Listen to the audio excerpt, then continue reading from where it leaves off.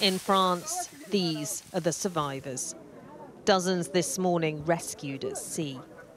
They'd paid smugglers to bring them to the UK when their small boat began to sink.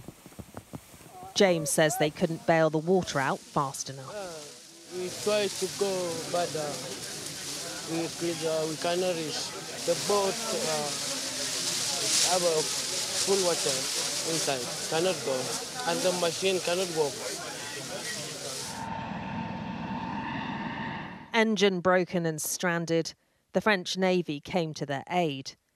These officers had spotted them and another boat in distress from the shore, packed onto overloaded, unsafe vessels, some without life jackets. It's an all too familiar scene. More than 44,000 people came to the UK in small boats in the year to June, a rise of 26%. We're now in the middle of peak crossing season. You can see the sea is calm, the winds are low, the UK is in sight. And regardless of the obstacles which the authorities create, many are still determined to cross. Police are a regular sight on these beaches, numbers boosted by cash from the UK.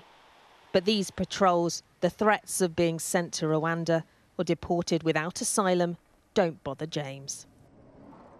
I'll try it again. Not um, I want to go though. I will try it. Maybe I will lose. I don't know, but maybe not. I will try it next time. As more asylum seekers arrived in Dover, the Home Office says crossings between January and June are down. But for many here in France, it's a waiting game. Just a matter of time before they risk it all again at sea. Siobhan Robbins, Sky News, Calais.